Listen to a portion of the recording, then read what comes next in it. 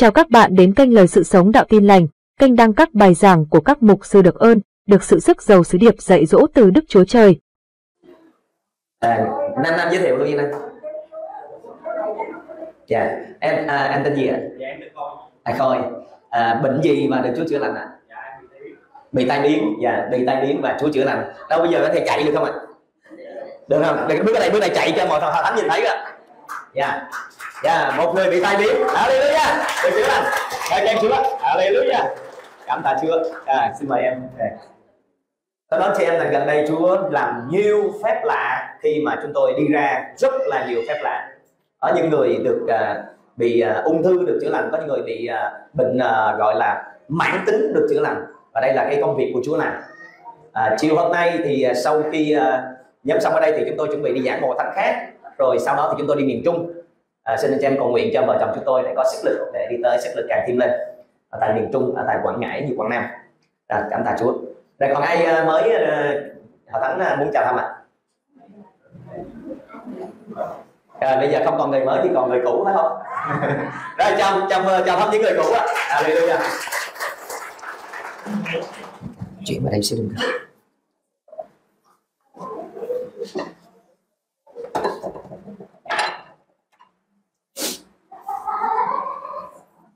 Cảm tạ Chúa là chúng ta đã học qua một cái loạt bài về phước hạnh ở trong giao ước mới. So we've been learn a series of lessons about the new blessing in New Covenant, Mà chúng ta đã đã đi đến cái à, phần à, thứ 17 and we've been to part 17 already. đây là một cái phần à, nói về cái sự phước hạnh cao nhất This is we spoke we spoke about the greatest blessing of all. chúng ta có nhiều loại phước hạnh khác nhau. We have many types of blessing. chúng ta có phước hạnh về vật chất. We have material blessing, chúng ta có phước hạnh về thuộc linh. Spiritual blessing. ví dụ như trường hợp cốp ông cầu nguyện với với chúa là là hãy à, ban phước cho ông. And Jacob is an exa- example in the Bible. và dường như là chúng ta cứ nghĩ rằng là đó là ông xin cái cái, cái tiền bạc hay tiền của. We thought that he asking for material, for money, nhưng mà chúng ta nhìn lại thì cốp là người giàu.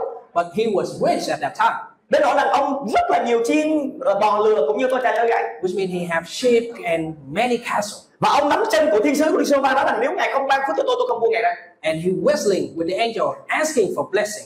và cuối cùng thì thiên sứ ban phước cho ông And in the end, he have what he asked for. nhưng mà sau đó chính gia cốp nói rằng mắt tôi đã thấy chúa và linh hồn tôi được giải cứu But he said, I saw God and my soul was saved. lĩnh vực phước hạnh cao nhất nó không phải là vật chất So the greatest one is not about the material, nhưng mà phước hạnh cao nhất đó là thuộc linh được tự do it's that the freedom in your spirit. chúng ta không còn sự định tội We no longer condemnation, không còn tiếng nói định tội no more the voice of condemnation. chúng con chúng ta được tự do hoàn toàn để bước đi cùng với Chúa We was freely to walk with God. và thánh linh của Đức Trời sẽ xích dầu chúng ta để đi ra trong quyền năng của Ngài And the Spirit of God anointing us. nhiều người chúng ta chỉ nghĩ rằng phước hạnh đó là vật chất Some of us think that is only a blessing about vật chất material. nó sẽ hết That will be God. vật chất chỉ là một phần của phước hạnh trong It's only a part of blessing. nhưng có một loại phước hạnh mà chúng ta đã nói đến trong những tuần qua. But we've been uh, talk about this đây là loại phước hạnh cao nhất.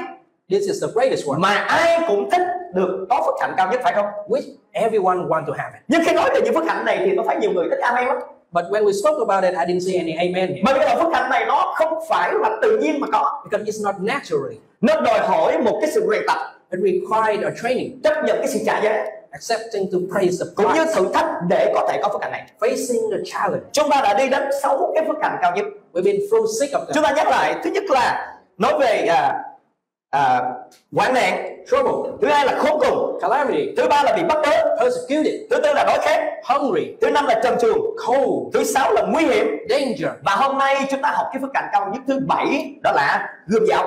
And the seventh, the seventh one, threaten. Anh em có sẵn sàng nhận cái phước hạnh thứ bảy không ạ? Are you ready to receive it? dạ phước hạnh này là phước hạnh về gươm giáo This is the blessing when you're being threatened. từ gươm giáo trong tiếng Hy Lạp. The word threaten là từ machaira. in Greece is mean machira, có nghĩa là chiến trận. Which means battlefield. hình phạt của pháp luật. The punishes, sự tranh cãi. Sự tranh cãi. An argument, hoặc là chiến tranh hay là đấu tranh. Or war. dạ. À, chúng ta thấy cái à, nghĩa à, của cái từ này nó khá là lạ You see that the meaning of this kind of strange to you. nhưng mà được sứ đồ Phaolô liệt kê But Paul listed out. và ông nói rằng đây chính là cái điều cuối cùng And he said, This is the last thing mà ma quỷ muốn dùng để phân rẽ chúng ta khỏi tình yêu của Chúa. That the devil uses to separate us. nếu chúng ta tin Chúa cứ ngày nào cũng phước hạnh ngày nào cũng phước hạnh ngày nào cũng phước hạnh. If we believe in God and we have blessing every day, nếu xin lỗi ở Việt Nam chúng ta mỗi ngày mà mà chúng ta được à, tự nhiên ở trên trời rơi xuống có 500 ngàn là mừng rồi đúng không ạ? What if you receive 500,000 every day? nhưng mà như vậy thì chắc người ta theo Chúa nhiều lắm So, which means that you love God very much. nhưng mà ngày nào Chúa Giêsu nói như thế này But one day Jesus said this ai theo ta phải lừa mình quá cả tự giác mình mà theo ta Who want to go with me have to carry your own cross. cross. hoặc là chim cháu con kia con cháu có ăn chim chạy có ổ xong mọi người không chỗ có đâu The fox has a den, the birds have a nut, but thế là những người trước đó nói rằng Chúa ơi con bỏ tất cả con theo thầy but human he doesn't have a place to thì bây stay. giờ lập tức họ nói như thế nào And the apostle said, I à rồi để con về con con chôn cha con trước đã but let me bury my father first. à con còn có những cái công việc của con con cần phải xử lý I have my personal business first. à, con còn à, mới mua mua được năm đôi bò I just buy uh, five pairs of cows. à con chuẩn bị con cưới vợ I, I'm, I'm about to get married. và họ đã khước từ vì có đang đi theo Chúa mà không có chỗ mới đâu And they rejected to go with God. Chúa Giêsu đang nói về cái nghĩa thực linh ở đó But God said about the spirit. con người không có chỗ gối đầu không có nghĩa là ngài không có một cái nơi để nằm ngủ It doesn't mean that he doesn't have a place to sleep. nhưng mà chúng ta có dám trả giá để đi theo Chúa không But do you dare to pay the price? có coi tất cả mọi sự là sự lỗ để nhận biết Đấng Christ là quý nhất trong cuộc đời của mình hay không Seeing God as the greatest thing in your life.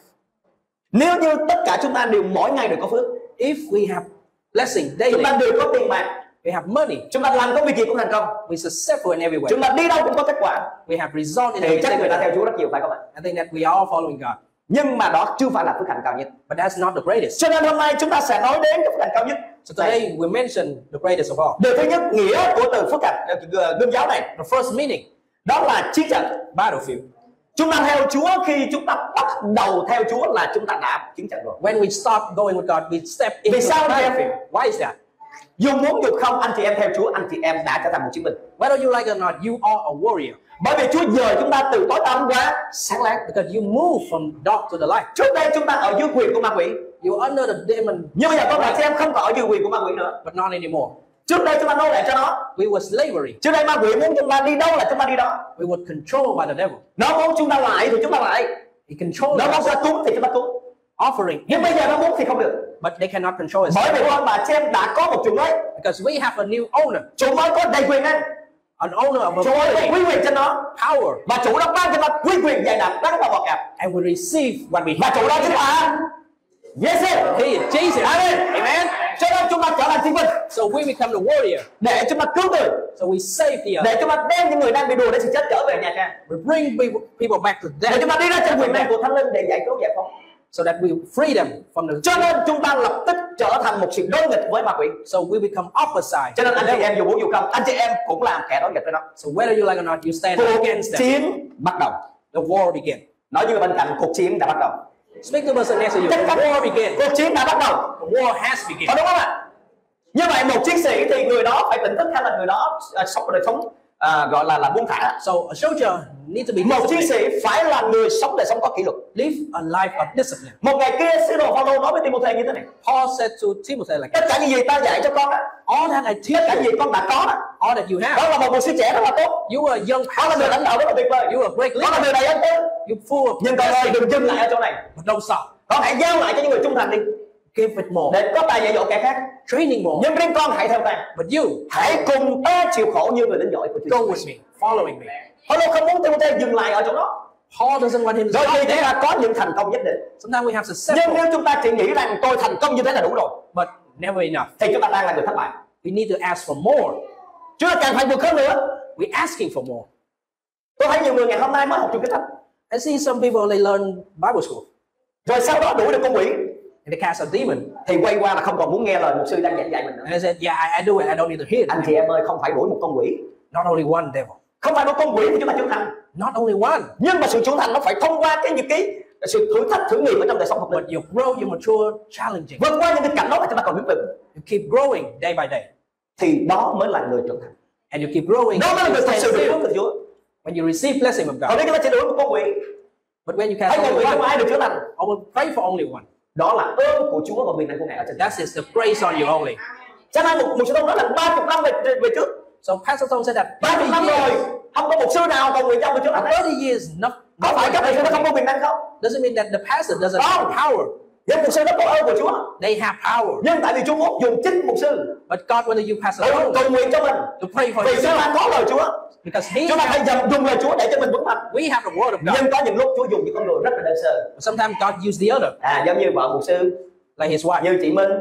Like Miss là những Minty, người rất là đơn sơ. Simple person. xin lỗi nhiều khi mình ngứa cái lỗ tai cái là ngón tay này nó to lắm nhưng mà không có làm gì được. Sometimes we use our finger to uh, nhưng mà cái ngón tay nhỏ xíu như vậy là nó quay quái một hồi là nó nó giải quyết được vấn đề phải không ạ? The finger is so big, but the nail is chính lòng chúng ta khi chúng ta đến với Chúa chúng ta mở lòng ra với Chúa thì Chúa ban ơn cho chúng ta. So when we open up with God, God will bless us. cho nên ở đây chúng ta thấy là cái sự chiến trận nó là một mặt trận mà tôi và chị em phải đối diện nó So it is a battlefield that dù muốn dù không chúng ta phải đối diện mặt trận này. Whether we like it or not. dù người mới tin Chúa hay là người tin Chúa lâu. Whether we new or old, tất nhiên mới tin Chúa Chúa sẽ bảo vệ chúng ta Will protect us no matter what. và Chúa cũng sẽ dùng anh chị em của chúng ta để có thể giúp đỡ chúng ta. God use brother and sister to protect nhưng you, Chúa không muốn chúng ta là trẻ con. But God doesn't Chúa want chúng ta tăng young.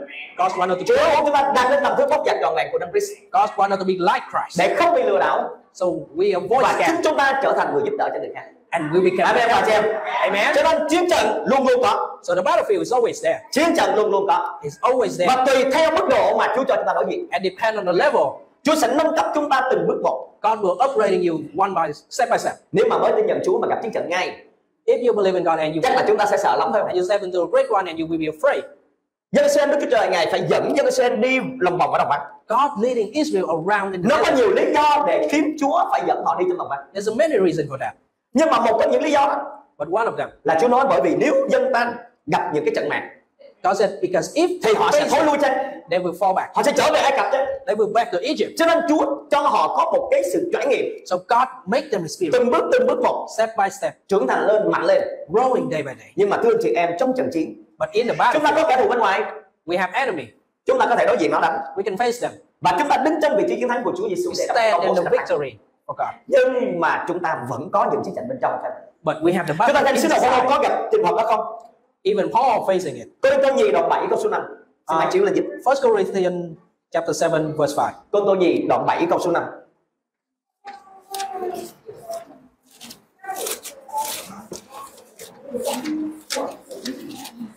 Oh, yeah, I'm sorry. 2 Corinthians chapter 7 verse 5.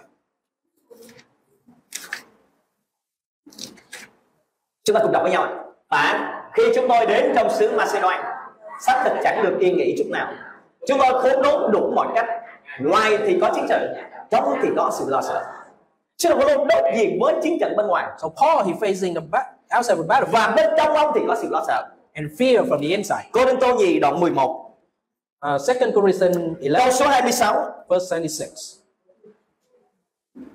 2 Corinthians 11 26.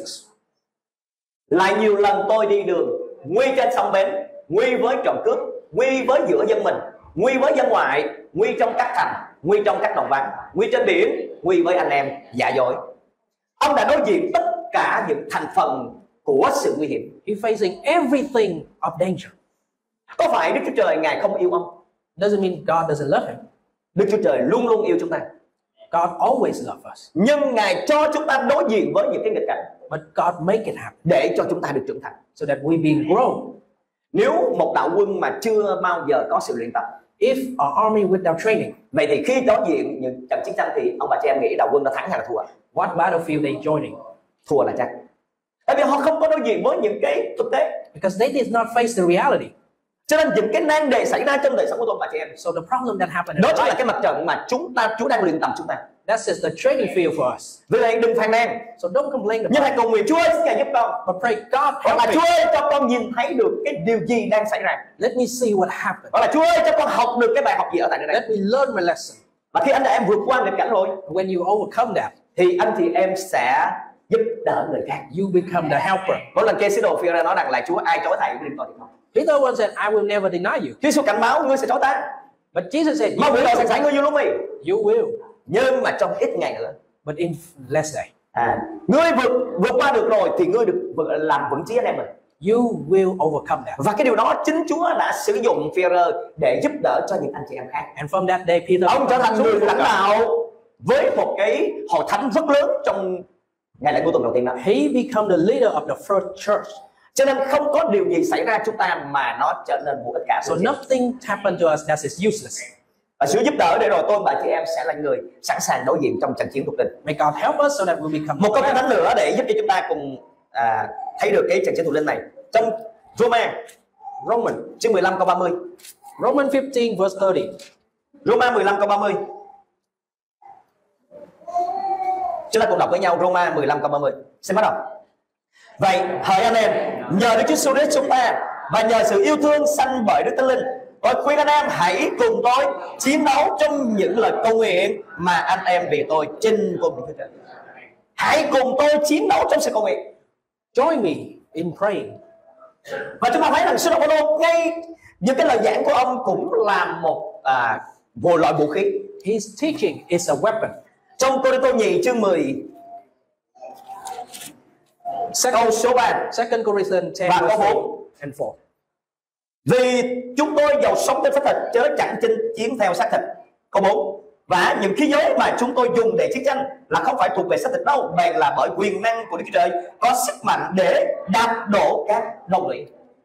Ông nói rằng chính những lời ông rao giảng có sức mạnh để đạp đổ các đồng lũy. Said that his word by Jesus given to him. Cho nên cái chiến trận đối diện bên ngoài và chiến trận đối diện bên trong. So both battlefield from outside Cả hai mặt trận này chúng ta cần phải đối diện. We need to face them both. Chúng ta xử lý những cái hoàn cảnh của ma quỷ đem đến. We deal with the problem that the devil có thể do bên ngoài do anh chị em do người thân hay là do chính quyền. Maybe your family, your brother and sister, or government. điều đó sẽ rất là dễ dàng để chúng ta vượt qua. It was easy for us to overcome that. Vì chúng ta có sức mạnh và quy quyền thuộc linh. Because we have the power. nhưng nếu cái trận chiến ở bên trong. But the power, những đồn lũy bên trong. The battle from the inside đòi hỏi phải có quy quyền của Chúa quyền năng của Chúa. Is that for the có special lời của Đức Chúa Trời. For the word of God, để chúng ta mới có thể đạp đổ các đồn lũy được. So that we can overcome that. Amen anh chị em. Và bây giờ cái điều thứ hai mà chúng ta nói về gươm giáo. The second meaning, đó là sự hình phạt của pháp luật. That is the punishment of law. tại sao sự gươm giáo gươm giáo mà là hình phạt của pháp luật? Why is that? một khi chúng ta đã đi hầu vị Chúa When we serve thì God, chắc chắn chúng ta phải đối diện mặt vỡ that absolutely we face. Chúa Giêsu đã báo trước điều này với các môn đồ. God, all, all, Jesus already warned. Matthew đoạn 10 Matthew chapter 10, từ câu 16 cho đến câu số 19 Matthew chapter 10, Matthew đoạn 10 từ câu 16 đến câu 19 16 to 19. Chúng ta đọc cùng nhau mà xem. Kìa ta sai các ngươi đi Khác nào như chiên vào giữa bầy muôn sói. Vậy hãy khôn kém như rắn Đơn sơ như chim bồ câu. Hãy có chừng người ta Vì họ sẽ nộp các ngươi trước tòa án Đánh đòn các ngươi trong nhà hội Lại vì cớ ta mà các ngươi sẽ bị dạy đến trước mặt các quan tổng đốc Và các vua Để làm chứng trước mặt họ Và các dân ngoại Xong khi họ sẽ đem nộp các ngươi Thì chớ lo về cách nói làm sao Mặt nói lời gì Vì những lời đáng nói sẽ chỉ cho các ngươi Chính trong giờ đó Có ai muốn bị bắt bớ không? No one want to face persecution. Có ai muốn nói chuyện bắt bớ không ạ? No one. No one. Dường như không ai muốn Nếu ai học về Chúa trong thập niên 80 và 90 Who served God in the 80s and 90s? Thì gần như là 100% đều bị bắt bớ Absolutely persecution. Chúng tôi đi đến đâu cũng bị bắt bớ cả Everywhere we go. Tôi nhớ lúc đó tôi đi lên uh, trên Củ Chi Uh, I remember when I Tôi ghé thăm to một gia đình của tín hữu I visit a brother Tôi house. mới bước vô nhà và ngồi nói chuyện một chút The moment I sat down and speak a little, Thì tôi đứng lên để cầu nguyện I stand up and pray. Gia đình mời tôi cầu nguyện chúc phước cho gia đình They asked me to pray. Thì tôi đang cầu nguyện như vậy In the middle of that, Tôi cảm nhận có một ai đó đang đứng kế tôi I feel that there's someone standing next to me. Mà tôi vẫn cứ cầu nguyện And I'm still praying Đến khi tôi mở mắt ra until I open my Tôi eyes. nhìn có một người đứng chống lạnh nhìn tôi Is he the one who's standing there, look at me? Who are you? Mày là ai? Tôi nói Ủa anh là ai? And I asked back, who are you? Tôi là công an ấp He said he's the police. Công an ấp có có quyền ghê em Đứng chống lạnh Đến đây làm gì? He asked me, what are you doing here? Tôi nói tôi đến đây cầu nguyện I pray for my Ai brother. cho phép tôi cầu nguyện? Who allowed you? Và thế là tôi bị bắt dẫn độ đi về xã So I, I was arrested and get to the station. Họ dẫn tôi đi Và hai bên đường dân đông thiệt là đông They take me and in on the way, people seeing that. Họ chỉ tôi đó tôi, lúc đó tôi chưa có vợ They pointing at me. Tôi còn đẹp trai lắm I'm not married yet, but yet. Bây giờ là vợ tôi xài bớt đẹp trai rồi My wife using me too now. Thì khi tôi đi như vậy tôi thấy hai bên đường Họ chỉ chỉ chỉ họ chỉ như vậy. And people they start pointing at me. Thế, à, à, trai trẻ trẻ mà đi à, làm tay sai cho Mỹ. They said that I'm the spy of America. tôi đâu có làm tôi đâu có nói gì được. I cannot speak. bởi vì họ dẫn đi. I was đi đi bộ trong trời nắng 12 giờ trưa. Walking in the middle of the day. và đi dẫn tôi đến một cái văn phòng của ấp And it, when I came to the station, và tại nơi đó cái văn phòng thì toàn là mái tôn không à the office was mà 12 giờ trưa hot. nắng như đổ lửa vậy It's very ở hot. trên cái vùng đất củ chi là vùng đất thành à, gì đó đất thép thành đồng And it was a highland, so it's extremely hot. thế là bắt đầu họ họ mở bốn cái cánh cửa cửa sổ lên và chống bốn cửa sổ lên So when I came in, they opened the window họ ngồi họ lấy lời khai của tôi and they taking my word. xung quanh thì có người mặc áo có người ờ, ở trần có người già có người trẻ và họ leo họ chôm lên họ chửi rủa tôi People surround the office and they curse me. Có thể bây giờ chị em thấy tôi đứng đây đẹp trai vô cùng không? Maybe you see me very good at this time. ngời đúng không nhưng mà anh chị em ơi lúc đó tôi như là một con chó đẻ vậy. But at that time, I was, người ta coi tôi như là đồ ô uế they called me người ta sỉ nhục người ta dội nước miếng. They spit on me. tôi yên lặng hoàn toàn. I take silence. tôi ngồi và tôi để cái tay của tôi ở trên cái cái bàn. I sit there and they take, put my hands họ hỏi cái gì? Tôi trả lời cái đó. They ask and they answer. Và bên ngoài thì tôi nghe những cái tiếng gì? Bắt bỏ tù nó đi bỏ tù nó cho cục sớm đi. And I heard and from the outside that jail him. họ chưa biết tôi phạm lỗi gì hết They don't care about what I what the crime, nhưng họ biết cái nhà mà tôi vô đó là nhà tin lành. But they know that this cho house nên họ biết thế nào cái ông này cũng là tin lành. is a prison, and they know I'm, và I'm a person. tôi And they sau đó họ gọi điện trên cấp trên. And they call for higher level, cấp trên kêu tôi kêu dẫn độ tôi đi lên xã. And they call take him here. à, thế là kỳ này tôi được đi xe. So this time I'm not có đi walking, bộ nữa. take my cars. và khi mà họ chở tôi đi xe When on the way, nguyên một đoàn quay lại phía sau nguyên một đoàn xe cũng chạy theo. A whole sau đó họ đưa tôi vô trong cái một cái hội trường lớn. A whole group following. rộng lắm đó chị They take me to the hall, và chỉ có mình tôi ngồi đó. And there's only bắt đầu từng cán bộ mỗi cán bộ đi đến mỗi cán bộ đến nói chuyện chút cán bộ đến nói chuyện chút. Cán bộ này thay phiên cán bộ kia. And many chief came to me and tôi ngồi đó từ. 1 giờ trưa I sitting there from 1 cho đến. 6 giờ chiều. Till 6 p.m. không một giọt nước. Not a single one. người tôi khô hết dry, không một giọt nước absolutely dried out. và khi mà họ điều tra tôi đến mức độ không được thì họ mới gọi điện lên trên quận để xuống And when there's no evidence, they ask khi các bộ quận xuống And thì họ biết tôi And tại vì tôi đã bị bắt bớ ở cái xã kia And the one that been came, the one that came know me. họ nói của ủa cũng là anh à And they asked, you again? tôi nói dạ tôi đấy I said, it is me.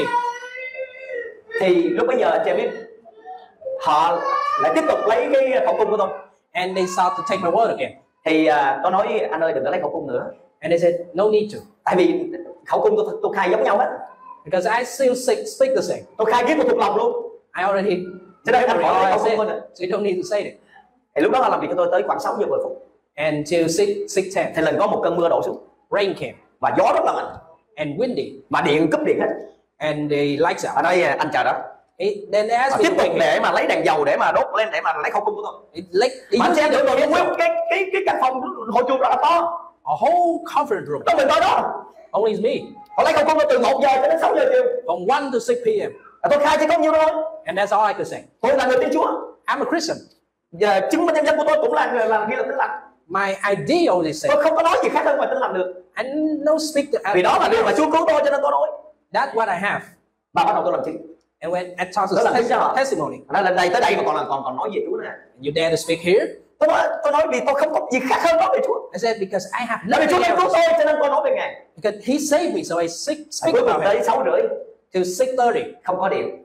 Still no thế light. là họ cho tôi về. So they free me. Và chuyển hồ sơ tôi lên quận quận. And put my five on a high level. để lên đó gặp cấp cao hơn Free me. không phải đơn giản được gặp gặp cấp cao đâu anh chị em But not only that, đó là Chúa được tập cho chúng ta đánh trận để như khi chúng ta trên ngoài cộng đồng that is my Thôi nếu. Chúa không cho tôi được tập gặp như từ những cán bộ cấp thấp lên cán bộ cấp cao God doesn't take thì tôi sẽ không làm chứng cho những bộ trưởng tên Chúa but God take us step by anh xem có step. tin rằng là tôi làm chứng cho bộ trưởng tên Chúa không We've been, I've been speaking to the ministry.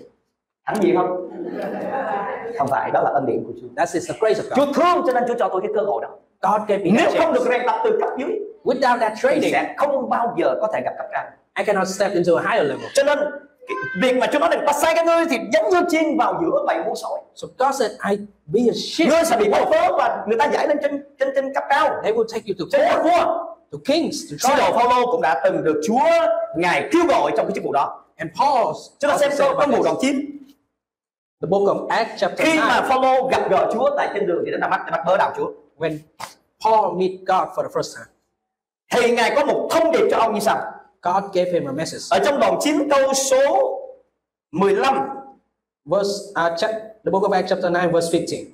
Nhưng Chúa phán rằng But the Lord Hãy đi Vì ta đã chọn người này làm một đồ dùng ta Để đem danh ta đồn ra trước mặt các dân ngoại Các vua và con cái Israel Acts chapter 9 verse 15.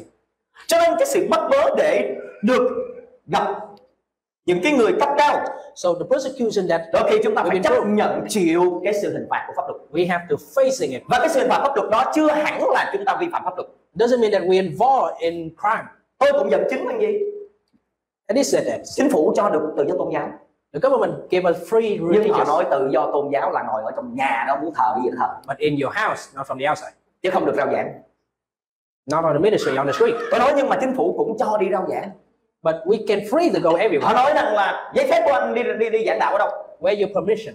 dạ tôi mở ở trong sách Matthew đoạn 28 câu 18 cho đến câu 20 Matthew 28, và 18 Mark to đoạn 20. 16 câu 15 hãy đi khắp thế gian giảng tin lành cho mọi người Mark 16, 15. họ nói cái này là kinh thánh của anh mà This is your Bible. tôi mở phía sau thấy là nhà xuất bản tôn giáo And open on the back, it said nhưng mà tôi có giấy phép không religious. đó tôi có giấy phép So this is my permission.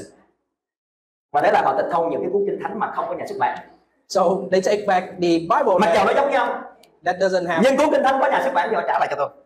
They take the Bible that doesn't have a writer. tạ ơn Chúa Chúa cho những cái sự hình phạt đó. And that's punishment, không phải do tội. Not by crime or mà sin, đó là chúng ta được dự phần vào trong sự thương khó của Chúa. But we would join in the struggle. nếu không được dự phần Without that joining, tôi và anh chị em cũng không có phần dự bánh Christ đâu. we got no part in cho Christ. nên đừng bao giờ sợ bị bắt bớ. So don't be afraid of it. Matthew đoạn thứ 10 Go back in Matthew 10, câu số 28 verse 28.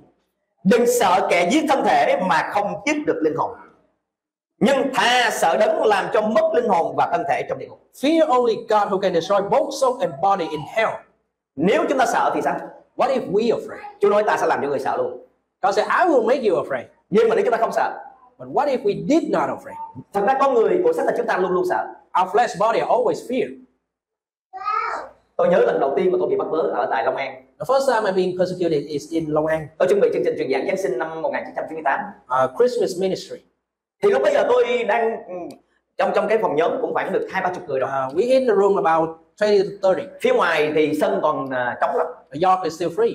Và cái người chủ nhà hoàn toàn không cho biết cho tôi biết là là có à, chính quyền hết And the owner doesn't warn me about the government, police. và nếu truyền giảng mà có người à, mới thì rất là thích So when we have new people came to that ministry, we grab. thì tôi mới đứng lên tôi cầu nguyện sau đó thì tôi bắt đầu giảng So I stand up and pray. tôi nói xin chào à, quý bà chị em I said, hello, brother sister. à, xin chào những anh em ở bên ngoài Hello to the one that knew à outside. bên trong còn rộng lắm mời anh em vô đây Came in, we still have place over you. tôi thấy ủa sao họ đi đến họ nghe giảng họ ở trần I said, why does this họ đứng đó nhìn nhìn nhìn nhìn thế này Why does they have naked? tôi nói các anh em đừng ngại ở trần cũng được vô đây But I said, don't mind, just thì thình lình thấy có một người chen vào And one person stood và up, mặc cái sắc phục and he wearing a uniform. bước vào He came straight in.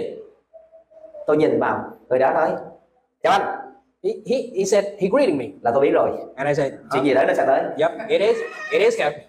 chúng tôi là chính quyền à, xã đây We are the, chúng tôi được à, nhân dân báo rằng anh ở đây đến truyền đạo trái phép we was reported that you do this illegally. rồi họ kêu cho tôi dừng lại And they asked for, us to stop. họ cái- ngồi đó họ lấy hai cán bộ lấy viết ra và ghi lời khai And they started writing. tôi nói cho bà chị em lúc đó hồn vía tôi bay hết I said, my soul left my body at that họ time. hỏi anh tên gì He asked for my name. Tôi nói không trả lời luôn I'm speechless. cuối cùng tôi lấy cái chứng minh nhân dân của tôi ra tôi nói "Tên- tôi nè And I gave them the ID. Ôi, tôi sợ một cách khủng khiếp ông bà chị em ơi. The most fearful of bởi moment. vì mình phải thông cảm cho ông Führer So you don't know mà cái cái, cái này con gái hỏi ngươi cũng là trong số đó so don't let Peter. à ta thề ta, ta không biết He swear he didn't know God. khi chưa đối diện anh chị em nói sao lại Führer dở ẹt You never experienced that. gặp tôi là tôi không bao giờ tôi chối đâu You said that he was weak. I'm not be like that. hồi lúc mà tôi học trường kinh thánh cũng vậy And when, the same when I chúng tôi learned có học một cái môn học tên rất là vui we learned the subject that nếu một mai what if? đó là cái cái môn học của chúng tôi học That's the subject. It's called cái what câu if. nói từ trong sách ký đồng đồng ba Uh, it's what chứ đó là nếu một mai người ăn chắc sẽ chết Genesis chapter nhưng cái 3. này là nếu một mai chấm chấm chấm chấm What if? có nghĩa nếu một mai anh được đưa lên xe xa So what nếu if hôm qua bị bắt vì danh của Chúa what if you thì experience xử, all that? xử lý như thế nào What will you act? nhưng mà lúc đó nếu một mai nó cũng mai, mai một mất tiêu. But that is what if không còn nhớ một lời nào hết. You won't be tough at the lưỡi tôi nó nó nó nó nó không còn nói ra lời. You will be shaking. trời thì nóng mà tôi lại đánh một cặp. Nhưng mà lạ lắm anh chị em. The air was hot, nghe nó một tiếng phán rất là nhỏ nhẹ. But the voice came in. ta ban cho con thần linh mạnh mẽ chứ không phải là nhục nhạt I give you the spirit of strength. tôi nói là trong vòng chỉ có tích tắc một giây. In a millisecond, Chúa cho tôi bình an trở lại lạ thường. God gave me Trước đó peace. tôi run mà đến độ tôi móc cái ờ, cái cái chứng minh nhân dân của tôi ra còn không được. Even I shake it when I give him nhưng bây giờ thì tôi ngồi chỉnh tề và bắt đầu tôi đối diện với họ. But I sit there và những câu trả lời tôi thấy bây giờ nó là khôn ngoan nhất trong tất cả các câu trả lời của tôi. And I see every single bởi vì one. không phải là do tôi trả lời nữa. Because that was not mà me, do thánh linh của trời ngài giúp đỡ. But it was the spirit of God in me. cho nên bây giờ anh chị em nói là ô bây giờ mình nó không bị bắt bớ đâu. So you said you we be we not being persecuted chúng ta có thể không bị bắt bớ như trước đây.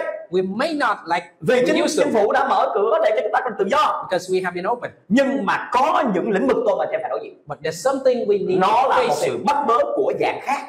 Another form of persecution. Mà tất cả người theo Chúa đều phải đối diện. That all of us need to face. chúng ta tiếp tục kinh nghiệm thứ ba nói về cái từ gươm giáo. Uh, we go into the third meaning of đó là sự tranh cãi. Argument. Đây là những người bị bắt bớ về thần học. This is persecution in bắt bớ giữa những cái triết lý. Theology. Bắt bớ giữa những cái à, gọi là cái lẽ thật này lẽ thật kia. Between the truth. khi uh, khi uh, khi Phaolô và Barnabas đi giảng đạo. When Paul and Barnabas are thì những người ở xứ Jude đã tin Chúa đến và nói với hai ông như thế này. Uh, the Christian in Judah said this: tin Chúa Giêsu chưa đủ. Believe in God is not enough. mà phải chịu cắt bì thì mới được cứu rỗi. You have to be cut. Mà điều này bắt đầu xảy ra sự tranh cãi. And it started an argument. họ quyết định kêu Phaolô và Barnabas đi lên Jerusalem để gặp các sứ đồ. And they sent Paul để trả lời về cái việc này có đúng hay là không. to speak with the disciple. và khi họ đến đó họ lại gặp một nhóm người Pharisee đến. And on the way they meet the Pharisees. nhóm người Pharisee này mới nói rằng là tin Chúa Giêsu chịu cắt bì chưa đủ nhưng phải làm theo luật pháp của Môi-se nữa. And they said, Believe in Christ, you've been cut, and you have to follow the như law vậy of trong ba cái trường phái này trường phái nào đúng So, but among this way, which các is môn đồ dạy là tin Chúa Giêsu là được cứu rỗi The disciple said, Believe in người Christ. Jude thì nói rằng tin Chúa Giêsu mà phải cộng với cắt bì thì mới được cứu rỗi Judah said that believe in Christ and be còn người Pharisee thì nói là tin Chúa Giêsu chịu cắt bì rồi gì đó giữ theo luật pháp Môi-se thì được cứu And the rỗi Pharisees adding the laws of Moses. bây giờ ba cái này ai cái nào đúng So which one is right? cho nên họ đối diện với cái sự tranh cãi So they started arguing. có những lúc có sự tranh cãi trong cái sự xung đột về quan điểm There will be conflict between như bản thân sisters. Phaolô Barnabas cùng đi với nhau But Paul and Barnabas they went on a road. Barnabas thì muốn đem dân mát đi theo. Uh, Barnabas bởi vì dân mát là một người còn trẻ. Want to bring John, và dân mát đi đến một cái thành phố kia. And when they're on a journey, ông quyết định ông dừng lại tại đó. and they decided to stop. Bởi vì tại đó ông gặp một ờ, cái ờ, cô chân dài. Because he meets a lady there. cái này là mở ngoặt đóng ngoặt. Ông mê chơi. He dropped, cho nên ông ở đây đó and he stayed there. cho nên khi mà Barnabas nói rằng là đem dân mát theo So when Barnabas rồi said, nó không không cái thằng này là "Bring Mark," but Paul said, "No, mê chơi lắm nghỉ he leave us once. thôi dứt khoát tôi không đem theo I will not take him." một bên thì đòi đem theo một bên thì không đem theo The one asked to bring, hai bên phải cãi với nhau rất là lớn and they started arguing. trên thế là gì họ cãi nhau một cách dữ dội They fight so hard. ôi này hầu như chúa mà cãi nhau cái gì And why did you fight? nhưng mà họ có sự bất đồng với nhau But they have conflict. mặc dù họ cùng mục đích là hầu vì chúa Even though the goal nhưng is họ lại có sự bất đồng với nhau but they have conflict. cuối cùng là hai người lại chia rẽ nhau And the result is they separate. Barnabas thì đi cùng dân mát Barnabas he went his way with Paul. chọn một người giỏi hơn một người nhanh nhẹn hơn đó là Sila Paul brings Silas, và họ cùng tách rời nhau để mà đi and they separate on their way. đó cũng là một cái sự tranh cãi That is the threatening. thưa chị em sự tranh cãi nó có thể xảy ra bất cứ lúc nào The argument can happen anytime, là người hầu vì chúa chúng ta nên tranh cãi không and we shouldn't. We shouldn't have chúng that. ta xem vào trong Timothy nhì đoạn 2 câu 24 Second Timothy chapter 2, 24. Và tôi tớ của Chúa không nên ưa tranh cãi Nhưng phải ở tử tế với mọi người Có tài dạy dỗ và nhịn nhục Đây là một lời khuyên của Paulo cho Timothy This is the advice from Paul to Timothy. Và cái sự tranh cãi đó Nó chỉ dẫn đến những cái à, sự à, nan đề mà không mong muốn But that conflict bring problem that shouldn't have. Sư Paulo thường nhắc các môn đồ ờ, môn mà học trò của ông Paul always said to his student, đừng có tranh luận về những điều đó don't argue about that. nhớ ở trong sách tiết chương 3 Uh, Titus chapter 3. câu số 9 ghi như thế này Titus 3 verse 9. nhưng hãy tránh những lời cãi lẽ dại dột Do not involve in foolish discussion những gia phổ những sự tranh cạnh nghị luận về luật pháp. Vì mấy sự đó đều là vô ích và hư không. About spiritual prejudice. à, chúng ta gần tới Giáng sinh. Uh, we are close to Christmas, và bắt đầu trên mạng râm ran là tranh cãi. And there was conflict on Chúa có Giáng sinh vào 25 tháng 12 không? Uh, Christmas is on 25. người thì nói Chúa Giáng sinh vào 1 tháng 4 Some say 1 4. người thì nói Chúa Giáng sinh vào ngày 7 tháng 4 Some say uh, 7. người thì nói Chúa Giáng sinh vào tháng 10 Some say October. kia vợ chồng tôi đi đám cưới Uh, one day we on a wedding. ngồi kế một thanh niên trẻ Next to a teen. và vì à, đám cưới trong Chúa cho nên chúng tôi hỏi à, em à, nhóm vào tháng nào So I asked him, uh, where did you go? Which, church you go và sau đó người đó nói And he said, thì à, tôi nói tạ ơn Chúa à, người đó nói nhưng mà à, con không có theo à, à, trước đây con theo tin lành nhưng mà bây giờ con không theo tin lành nữa uh, he said, I was a Christian.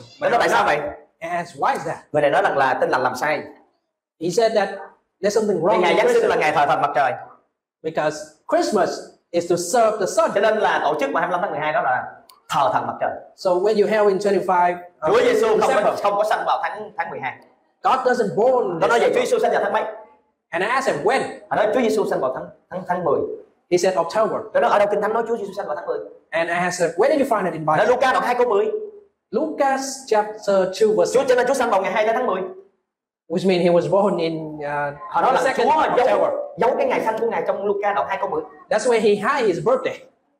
cho nên ờ, họ nói là bây giờ kể từ nay họ không bao giờ dự Giáng sinh vào ngày 25 tháng 12 nữa. So they said that we will not celebrate Christmas on 25 tôi December nói chúng tôi không có thờ ngày 25 tháng 12 We not worship that, nhưng tôi tận dụng ngày đó để truyền giáo. But we're using that. và hàng năm chúng tôi có hàng trăm người tin Chúa qua giáo using that for ministry.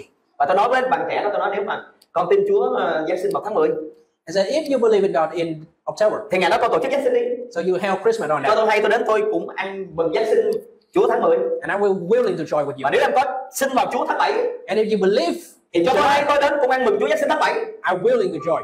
và nếu em tin rằng là Chúa Giáng sinh trong tất cả các ngày trong năm And you believe that He was born ngày nào tôi cũng ăn Giáng sinh với em được I will join Christmas with you every day. đó là sự tranh luận không cần thiết That is not necessary argument. Cái gì đó làm cho chúng ta mất cái năng lực thuộc linh. And that make a conflict between mất brothers, thời gian vàng của chúng ta. Loss of time. thay vì tập trung vào cứu Chúa. Instead of serving God, thay vì tập trung vào thờ của Đức Trời. Instead of thay worshiping vì tập trung để giảng phúc âm about preaching, thì ngồi đó tranh cãi. And we sit there and fight. anh chị biết khi mà dân sự Chúa ngồi lại tranh cãi When the people of God start fighting, cuối cùng ai thắng? who's win? ai thắng à? Ma quỷ thắng. The demons win.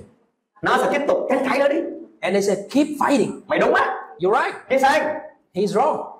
và sự tranh cãi đó dẫn đến mất năng lực thuộc linh And that leading to the loss of grace. bản thân tôi đã dạy kinh thánh cũng khoảng gần 30 năm I've been teaching the Bible for 30 years. nhưng nhiều khi có những người mới học được kinh thánh được có chút chút And some people, they only learn thì bắt đầu họ quay qua tranh luận And they start to fight back. à, một sư tin này một sư ta giảng bài đọc đúng rồi They say that I'm teaching wrong. You need to teach like this. và tôi lắng nghe But I still listen. tôi nói em cứ nói I'm hearing. đó là kia một em này đi học ở Philippines được một thời gian Uh, there's a brother that learned in Philippines. và trở về chất vấn tôi And he back. nó là đức thánh linh không phải là một một một à, một thân vị He came back to me and said, Spirit, uh, the Holy Spirit is not only not only one. chúng ta từng học đức thánh linh một thân vị We said that Holy Spirit, nhưng người này nói đức thánh linh không phải một thân vị but he said the Holy Spirit is not. nói rằng là là là thần đó là thần của Chúa That is the đó là sức mạnh của. Chúa he only a đó là hơi thở của Chúa a breath. không phải thân vị. He doesn't have a position bởi vì không thấy ngài because we cannot see him. chưa có nhìn thấy thánh linh hết Nobody see the Holy Spirit.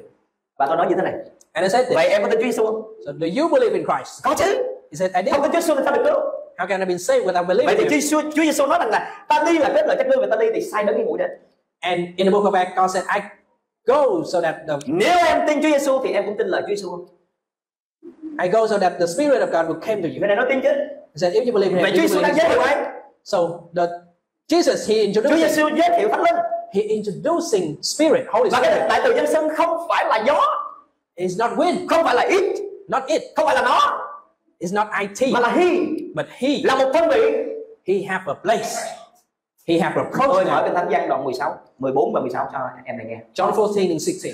em này nói hồi nào giờ em chưa nghe And he said, I never read this. tôi nói gì học thêm đi Learn more. Đừng có nói điều này với tôi Don't argue. đức thánh linh rồi thân vị The Holy Spirit, he Ngài has nói. his own pronouns.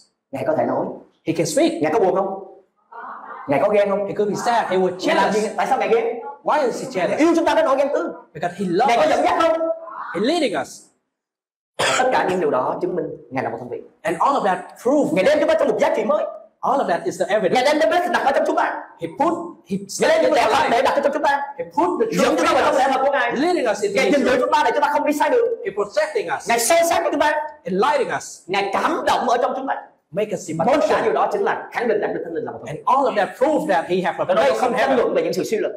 I'm not arguing with that. Tôi không tranh cãi về cái tư tưởng của con người I'm not fight with the nhưng geology, lời của Chúa nói tôi tin vào lời của Đức Chúa Trời but I believe in the word of God. và nếu Chúa Giêsu là đấng mà tôi tin And if ngài giới thiệu và thánh linh his word, thì I tôi believe vào word. ngài và thánh linh đã đổ xuống trên And the Holy Spirit reigns upon us. cho nên sự tranh cãi sẽ được chấm dứt So the conflict will be ending. khi lời của Đức Chúa Trời được khẳng định When the word of God being điều cuối cùng trong cái từ gươm giáo này có nghĩa là chiến tranh the last meaning, war. Xe đoạn đoạn 2 câu 1 Colossians chapter 2 verse 1. Cô đôi xe đoạn 2 câu 1 Và tôi muốn anh em biết dường nào tôi hết sức đấu tranh cho anh em cho những người ở Laodice và cho những kẻ không thấy mặt tôi về phần xác. Colossians chapter 2 verse 1. Phaolô nói rằng ông đấu tranh cho anh em. He agonized. Đấu tranh về điều gì? What is agonized? Đây là tâm tình của một người chăn. This is the heart. Đấu tranh cho quyền lợi của chị em. Fight for your truth, for your right. Khi nói về sự đấu tranh, Speak about có nghĩa là sẵn sàng đương đầu. which means you ready to facing. Chúa Giêsu là người chăn hiền lành. Jesus is the great shepherd. Ngài vì chiên mình và phó sự sống mình. He fight for his sheep Và người chăn thật thì đi trước chiên. and he walk in front of the sheep. Còn người chăn thuê thì đi đâu? Đi sau chiên. But the rented one, he walk behind. Người chăn thật luôn luôn làm gương cho chiên. The real one become a, Nhưng mà người chăn thuê thì đi sau để lùa chiên. The real one become the picture for the sheep. Và làm gì nữa? Khớp lông chiên. But the rented one Rồi gì nữa? only walk Lỡ behind con chiên mập nào thì sao? Làm thịt luôn. and he eat, he eat the fat one. Nhưng mà người chăn thật, But the real shepherd, người chăn thật này sẵn sàng đấu tranh cho quyền lợi của dân sự. he ready to fight for the right of his Sẵn sàng có thể đối diện sự bắt bớ. facing the persecution, Sẵn sàng tiên phong ở trong mọi công việc. pioneer in everything. Và nếu có những cái nan đề xảy ra, And no matter what the problem, nếu có sự bắt bớ xảy ra, no matter what's the thì người persecution, chăn thật luôn luôn đứng trước. always on the front line, đầu và chịu trách nhiệm. facing on the front. đây cũng là tiêu chuẩn mà Chúa ngài kêu Phaolô à, tuyển chọn cái người giám mục That's it, the standard God's asking from Paul. hãy hãy cai trị nhà của mình thì mới thể cai trị được nhà Chúa Trời Control your family. cái từ cai trị đó có nghĩa là đứng đằng trước chịu trách nhiệm và làm gương The word control here which means stand up front. đây là tâm tình của người chân thật This is sự chiến tranh không có nghĩa là gây hấn war doesn't mean fight, nhưng muốn giành lại những gì để bảo toàn cho bài chiên của Chúa but fight for what is yours. khi mà người ta nói như thế này là làm sao để biết được cái sức mạnh của người đàn bà Bible said, how do you, how do you know the strength of the woman? thử đụng đến con của họ xem sao Touch their children. Lay hands on it. bình thường người nữ như thế nào ạ You will see the result. dịu dàng như là cành liễu. Maybe you see her is soft. She is nhẹ soft. nhàng như gió. As wind, thước tha như mây. Like a feather. nhưng mà đụng đến con của họ thì biết. But put your hands on the lập children, tức trở thành sư tử. You see a lion in front of you. Tôi nhớ lúc tôi có một đứa con đầu tiên. Uh, I remember about my chúng tôi bị đe dọa trong chức vụ. We were persecuted, threatened in our in our ministry. họ đòi giết chúng tôi They threatened to kill us. Họ đòi dùng kim tiêm mà có nhiễm HIV để đâm chúng tôi. Using the needle with HIV với một lý do đơn giản. For one symbol. là cái anh chàng này có vợ rồi Because he was married, nhưng lại muốn lấy thêm một cô vợ nữa. And when mà cô vợ đó lại là nhân sự của chúng tôi nữa. And the second wife is our people. khi tôi không đồng ý. When we rejected thì that, anh đề nghị như thế này. he said this: tôi sẽ cho một sư 20 triệu I will give you 20 anh chị em million, ơi năm 2003 là 20 triệu là ngon lắm à 20 million back in the day of 2012. Up rồi tôi dâng cho hội thánh là 200 triệu để truyền giáo and I give the church 200 tôi sẽ million. cho cô ấy một cái danh phận. I give her, đăng ký kết hôn đàng hoàng mặc dầu tôi có vợ hai con. I will do it legally. nó không được. Trong Chúa chỉ có một vợ một chồng. I said, no, you only have one wife, no matter what. thì từ cái chỗ là kêu một mục sư chuyển sang thành thần luôn So from being called pastor, he called đe dọa tôi và gia đình tôi liên tục trong vòng 3 tháng trời he called me from pastor to pastor. lúc bây giờ tôi chở vợ tôi I was right with my wife once. tôi nói em nếu như mà cái anh chàng đó mà xuất hiện ở hội thánh mà coi như tấn công anh thì em sẽ làm gì What if he attacked me at the church? What would you do? và tôi trả lời là My wife said, qua xác chết của em over my dead body.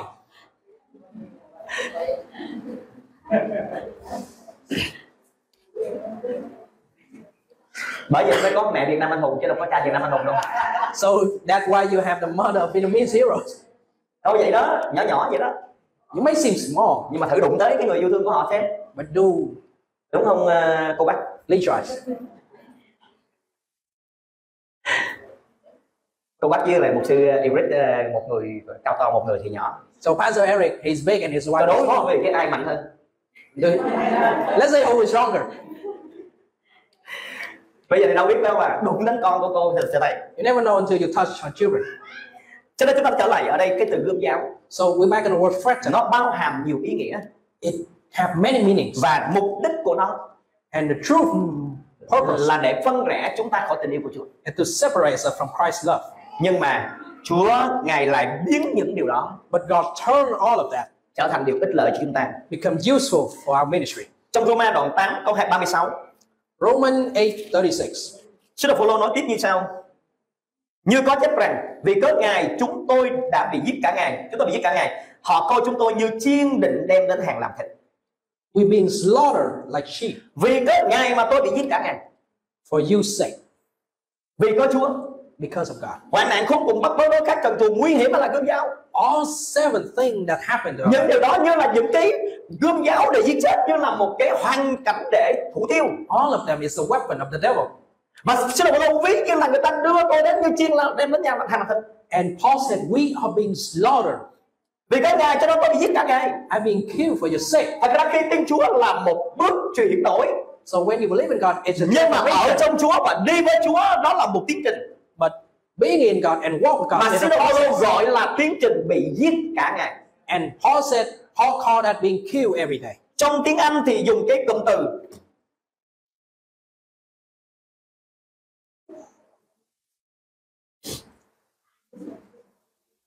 We are killed killed all the day So, tức là dịch đi so the word we are killed every day in Việt Nam would be chúng ta bị giết mỗi ngày. dạ all the day. Every day. bị giết mỗi ngày mỗi ngày mỗi ngày mỗi ngày. Daily. mỗi lần chị em đến hội thánh cũng đang bị giết luôn. You're being killed even you in the church. lời của Chúa đang làm gì đó em? What's the word of God? Đang nói điện chúng ta. Training you, đang tỉa đang sửa. Cutting you, cắt những cái điều mà Chúa không đẹp lòng. Cut all the bad nhưng things, nuôi dưỡng những lẽ thật của Ngài. But để được mạnh mẽ để lên lên. but growing. chứ sự giết không có nghĩa là hủy diệt. So kill doesn't mean destroy. Chúa ban cho Jeremy quý quyền cướp giết xin lỗi à, diệt đổ à, nhổ.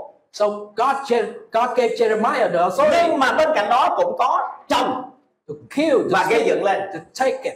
But, cho khi ta nghe lời Chúa. But there's also growing. nếu có một cái điều gì mà nghịch lại với thánh linh của Chúa So there, when there's something that's thì cái đó spirit là đối tượng phải chịu giết. that system, nhưng nếu chúng ta đang bước đi với Chúa that's the thing you need to và fight chúng ta đối diện sự bắt bớ.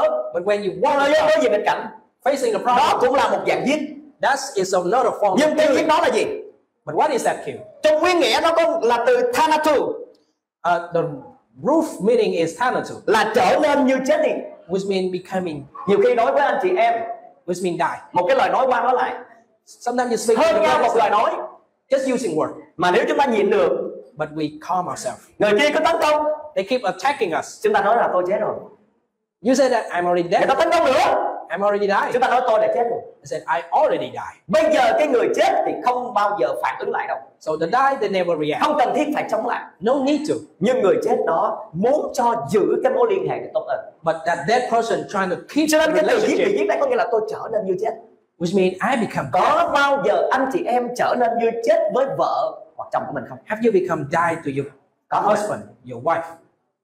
có không nhiều khi chồng mình nói một câu. Sometimes you, uh, your spouse say a word, hãy trở nên như chết với chồng của mình. You didn't react. nếu vợ mình nói là một câu And when you hear the thì word, trong cũng có thể trở nên như chết so avoid that. Avoid fight back. và hai cả hai cùng chết trong lòng một ít. And both of them die in the heart a little. Bởi vì sao vì họ yêu. Because of love. Thật ra học yêu học không phải là học để mà để mà cải trả. Learn of love doesn't mean để cho hôn nhân hạnh phúc không phải để cải trả for the happy marriage doesn't mean you nhưng để have hôn nhân hạnh phúc là để tập chết to learn to silence. đúng không em anh chị em chết cũng nhiều thật ra chúng tôi đã chết rất nhiều những cái điều khó chịu cùng nhau We, my, me and my wife, we die every day. chúng tôi nhìn vào Chúa để chúng tôi có thể chết được And we see in God's. anh chị em có chấp nhận để chịu giết cả ngày không Are you willing to be killed every day? Mà chỉ có Chúa mới có thể giúp đỡ chúng ta đắc thắng được And only God Amen, help us with that. rồi cái nghĩa cuối cùng của cái từ này có nghĩa là làm nhục bị giết là làm nhục Uh, so the last meaning, ashamed.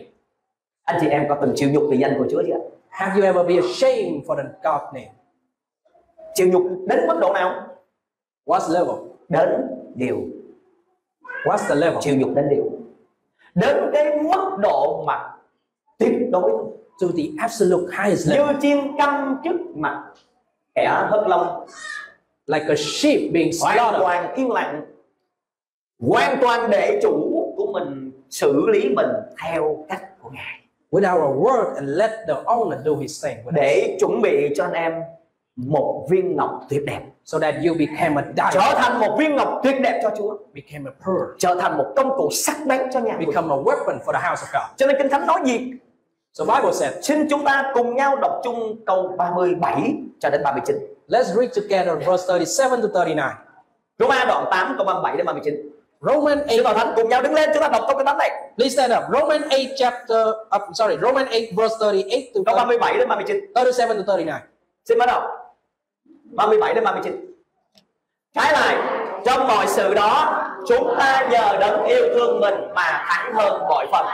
Vì tôi chắc rằng bất kỳ sự chết sự sống các thiên sứ các kẻ cầm quyền việc bây giờ việc hầu đến quyền phép bề cao hay là bề sâu hoặc một vật nào chẳng có thể phân rẽ chúng ta khỏi sự yêu thương mà Đức Chúa Trời đã chứng cho chúng ta trong Đức Chúa Giêsu Christ là Chúa chúng ta. Xin đọc lại câu 37 lên hai lần nữa. Trái lại, chúng ta nhờ đấng yêu thương mình mà thắng hơn mọi phần. Trái lại, Có mọi sự đó, chúng ta nhờ đấng yêu thương mình mà thắng hơn mọi phần. Amen. Hallelujah. Nếu ma quỷ tìm cách để ngăn trở tình yêu của Ngài đối với chúng ta, If the devil tried to stop the love of God on us, nếu nó dùng những hoàn cảnh để khiến ta nghi ngờ tình yêu của Chúa, using the problem, thì hôm nay trong danh Chúa Giêsu, so right now in the name of Jesus, chúng ta công bố rằng I declare nhờ đấng yêu thương chúng ta là Chúa Giêsu by the love of God, mà chúng ta là người chiến thắng. we became victory, Chiến thắng của chiến thắng. the victory of victory, toàn phần. Absolute Amen. Bởi Chúa Giêsu, By Jesus, con chiến thắng toàn phần. I victory. Bởi Chúa Giêsu, By Jesus, con vượt qua nghịch cảnh. I overwhelming. Bởi Chúa Giêsu, By Jesus, con nhịn nhục. I'm Bởi Chúa Giêsu, By Jesus, con yêu thương em mình. I love the blood. Bởi Chúa Giêsu, By Jesus, con càng đi tới. I'm growing. Sức lực càng thêm lên. More strength myself. Amen. Amen. Amen. Amen. Hallelujah. Amen. Hallelujah. Cảm ơn Chúa. Cảm ơn quý bà chị em. Hallelujah.